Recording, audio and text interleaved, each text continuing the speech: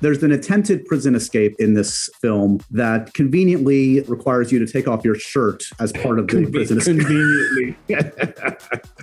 So, what kind of machinations were there in the writer's room? Like, wait, I have it. This is why I've got to take off my shirt. And was there a consideration that John maybe never needed to wear a shirt this entire film? You could have gone that route. to be fair, to be fair, we wanted to flood the cell, but there was nothing to flood the cell with.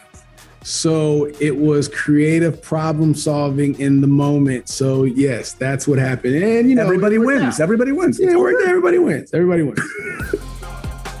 Congrats on the new movie, man. I knew from our experience I never wanted to cross you, but I officially now know, having seen this guy, this is the guy that not only sets fire to the car, but he gets in the car. So now I know what kind of psychopath I'm working with. Yeah, yeah, yeah. John ain't got it all. He he he he a little off on this one, but rightfully so. It's a role that you know I've always dreamed of playing. You know, it's it's the movie that I watched as a kid growing up. You know, being like, you know, I want to do that one day. You know, especially from you know playing in Tom Clancy's you know uh, uh, universe, Rainbow Six video game growing up. So when this project kind of came around, you know, it had all the bones of a cool origin story. You know, so to be able to kind of give it a fresh take and make it a little more modern and represent the world that we live in today, it was something I had to jump at. You've made a point out of you know carving out a space for roles that sometimes aren't defined by the color of their skin, of the character's skin, right? And like this character traditionally has been a white guy. I'm curious, like, how do you think this story changes given that you're playing this role in 2021? You know, I think the stakes of a character, the situations that he that he's in, has to be a little bit more mindful. You know, there's there's a moment when he gets into the car, you know, the burning car, and he gets out of a car with his hands up and there's cops around. I mean, that's that's a loaded situation, you know. And while Yeah. we're on that day, we're shooting that day. You know, it's a conversation that I'm having with the director, with the producers. Like, listen, we got to make this make sense because in today's day, if he gets out of that car, he's probably getting shot. You know, Yeah. Re- Yeah. like regardless. So just we could just leave it at that. So so you see when he gets out of the car, he's like, don't don't don't shoot don't shoot. I'm military. You know what I'm saying? Immediately hands up. You know he's he's he's, he's trying to be as submissive as possible because we still wanted to play the element that it was a possibility that he could have got shot. You know, and I think that at its core. Uh, you know, in, in situations like that throughout the film, you know, it doesn't have to be beaten over over the head. It doesn't have to try to be as subtle as, as possible. But you know, that's I guess one of the ones I guess that immediately stands out when it comes to that question. You talk about Tom Clancy's world. Uh, you know, I grew up with the, the Tom Clancy movies and the books. Does this movie happen if you're not a gamer? I know you grew up a, an anime fan, a comic book fan, a game a gamer. Does this movie happen if you're not playing Rainbow Six as a kid? Ooh, uh, maybe not. Maybe not, but maybe it still does because I, I mean, I, I, I want to say that I'll still probably be a gamer and I'll probably still love action movies and and and the Right. the, the kid in me would would want to you know live out my my childhood like fantasies of being able to do my own stunts, you know, like watching Blade and you know all the Tom Cruise movies, the Jason Bournes and and you know the Michael Jai Whites and Spawn and, and Jackie Chan and Jet Li and all these guys that I watched growing up was like, man, okay, I want to do that one day. It's your turn. This, yeah. this is this is this is the first one for me. This is the first time I've talked to you since being named the sexiest man alive. And I can tell even over Zoom, you're sexier than ever. Congratulations. Aw, see, stop it. I appreciate it. Keep going. What'd you say? I was talking to uh, our mutual buddy Tessa Thompson recently, and she was relishing the idea of giving you crap once she gets on the set of Creed 3. Yeah. Uh, who among your friends kind of hit you up and kind of razzed you? Was, you know, did Jamie Foxx and Miles Teller, did everybody come out of the woodwork?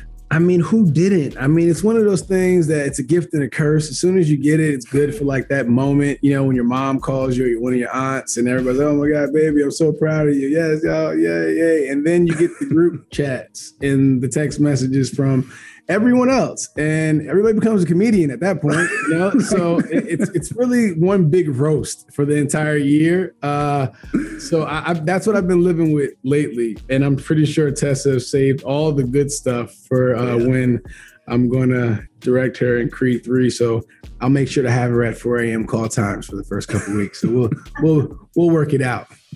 For as long as you've been acting, especially in the last few years, you know, you've been, you know, you've been touted as like, you know, you're the next Denzel, you're the next Tom Cruise, etc. You, you've been working with Denzel lately, the last few months. Talk to me about what it's like to work one on one with this guy that's been so influential to you, you and so many actors. What are you getting out of the experience of, of going toe to toe with Denzel?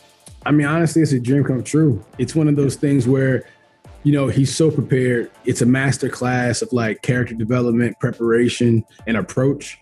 You know, people love love D for you know for the roles that he plays but they have no idea about the process that he goes through every day. You know, I think they will fall in love with him even more if they knew, like, you know, like how dedicated he is to the craft.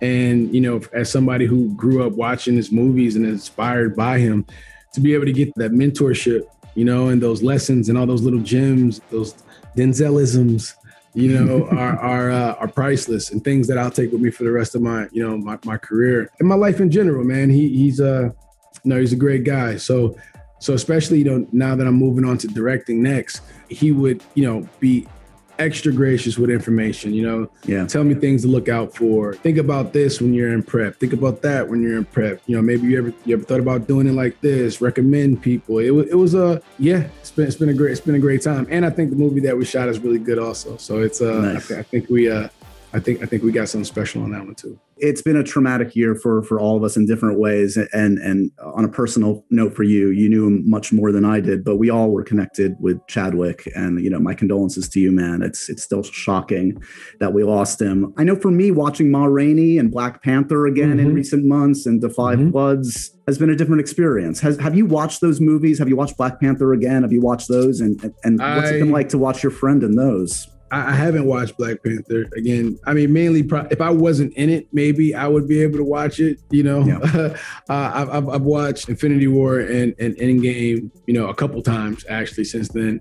That was good, but more or less, Ma Rainey watching that project, knowing that it was his last time we get a chance to see him play a role, is emotional. You know, he did such an incredible job. You see him giving everything. It just it it hits so much harder. You know, it feels so much more powerful and and it, and it means so much.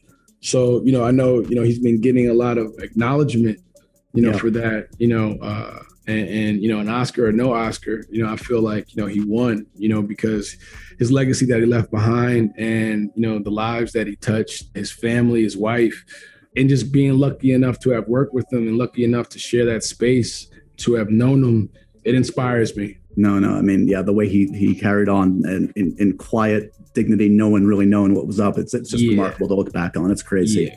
I mean, I, I, know there's no collaborator that's more important to you than Coogler, who's meant so much to your career. In anyone else's hands, maybe the idea of another Black Panther might feel a little dodgy, but I assume you trust in his vision that he knows how to honor Chadwick's legacy and how to push this franchise forward and, and kind of honor the man, honor that world. If anybody's going to figure it out, it's uh, Ryan Coogler, Kevin Feige, you know, yeah. Nate Moore, Brad, everybody over there at Marvel. They'll figure it out. It's new territory to to navigate. So yeah. so I, I, have full confidence that they're gonna uh, find the right balance, you know, on how to how to move forward and, and honor and respect Chadwick. What's Ryan saying to you as you approach your first directing effort? He's got to be a shoulder you're leaning on as you get on that set. Yeah, man. I mean, like you know, you know, lucky enough for me, he's you know, he's I got him as a producer on that. You know, right. so just you know, preparation, prep, prep, prep, prep, prep. You can't over prepare. You know? Yeah, yeah. You can't over prepare. And he said, trust your instincts. You know, I think trusting my instincts is uh, something that he reinforces. And yeah, man. I mean, every everybody has you know that full confidence in me. From what they say, or they could just be completely lying and just you know, not want to break the news to me. But one way or another, we're going to find out. So we'll figure that out real soon. You'll you'll get there, and you're excited for the journey Adonis is going to go on. Yeah, I'm really ex- I'm really excited, man. It's become more personal to me the more I develop it. The themes are starting to reveal itself in a real way. I have incredible actors that are attached, along with our cast that uh, familiar faces that that we're used to seeing. I think we got something special. You know, I think we got something special. And I know everybody says that about their baby and their project, but you know, just carrying on that legacy moving forward, you know, I, I think it's going to be something that a lot of people uh, can can can connect with. Yeah, well, I know you wouldn't take this on lightly. It's a, it's a big deal to make the jump behind the camera. You don't want to screw it up. So I know you're gonna you're gonna oh, be ready. Oh, I'm not gonna be the one to screw it up. It ain't gonna be me. no, no, no, no, no. They gonna look at me like, oh, that was Mike's movie. That's right. When he tried to do that whole directing thing, like, no, no, no. I, am as, as best as I, I can. I'm not. I'm not. Uh, I'm not going to be that guy. For about a decade, we've been uh, having these kind of interviews where you duck and dodge a portion of my questions. So here's where here's where we do so it. This, so this is, we're going jump. We're going to jump right into it. We're going to do it. So I, I think I've been mentioned this in, in, years past. I mean, there's been talk about you as Superman. Obviously, mm-hmm. Ta-Nehisi Coates is now officially on board to write. there he goes.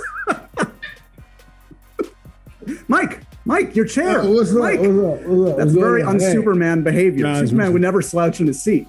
Uh, what do you, do you know Ta-Nehisi Coates? Have you talked to him about yeah, Superman? Yeah, well, you know, he you know he was responsible for the reboot of the Black Panther. You know, oh, comic books that that, right. we, yeah, that, we, uh, that, yep. that, Ryan worked closely to adapt, and he's an incredible writer. And, and, yeah, I know him for sure. You know, I'm flattered to be a part of all these conversations. You know, and rumors, and you are you know better than anyone else. Like how many things I've been rumored to to play. You know what I'm saying? It's it's a lot. So uh, there's there's but so much time in the day, in days throughout the year. It's just flattering to know that people still you know think of me in that type of way to be able to play these characters and and uh, and want me to to some degree. So uh, I'll just you know leave it at that, I guess. But how about just from a fan perspective? The I love the hands up just from a fan's perspective.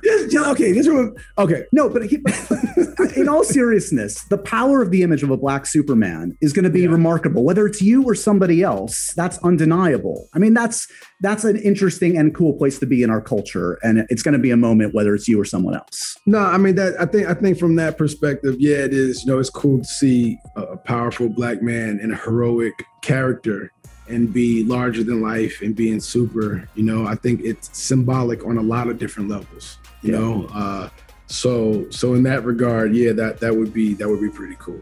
You're pretty pr- private, generally speaking, and I'm not one to pry on, on the personal life, but on Instagram, you've been a little bit more open lately. You've been kind of like open about your relationship. Has that been a big kind of like adjustment? Like, because that that's a choice. That's a you don't have to do that. Can you give me a sense of just sort of why you're kind of opening yourself up a little bit? Why now is the time to do that? I have been, you know, extremely, you know, private, and I am still, you know, very private. I think there was a part of me that wanted to stop the speculation you know, of everybody, you know, prying to get to know and trying to find out this and that. And it was just like, look, this is what it is. I'm happy. You know, I'm at a point in my life where I'm a grown ass man, you know, and, I, and I'm and I'm living and I'm living I'm living my life, you know, and uh and I'm enjoying it, you know, and I'm and I appreciate who I'm with and I'm happy, you know what I'm saying? So it's uh and I yeah. think this, you know, this pandemic, you know, and I think the you know, this the loss of uh of of uh, you know of life and people and time you start to you know prioritize you know and and, yep. and you figure out what's important and and you got to live your life man and you got to enjoy yourself you know um so you know that's kind of what i'm doing and uh i'm still private i'm still very you know i'm saying there but yep. you know wanted to just you know put that out there so to put everybody at rest and, right. and let, let people know kind of what it is and and then move on You've come a long way, even in, in, the years I've known you, let alone since you've started acting. Do you ever think back to the early days, like the first time you were recognized on the street, um, to where you are now as like, you know, you're in rarefied territory to say the least. Do you think about how far you've come, and does that give you some perspective? I think my close friends, you know, sometimes you know, bring it up or some of my team that's been with me for a really long time, you know, uh, we might be in a situation that you know, I still kind of, you know, look like, is this really happening right now? And then people like, yeah, duh. And I'd be like, huh, what? so I, am sometimes I'm late to the party as far as like catching up to to um, I guess the perception of me in certain certain certain areas. Uh, you know me, I'm, I'm a do the work guy, you know, and uh right. and, and and and keep pushing. But I am extremely blessed and fortunate to be able to uh you know, to to be somebody that people do look up to, and hopefully I am inspiring, you know, future generations uh, across the board to do great things for themselves and to challenge themselves and uh, to push themselves uh, forward. But yeah, you know, been doing this 20 years, so it's a blessing to be able to still do what I do and and um and do it at the top of my game.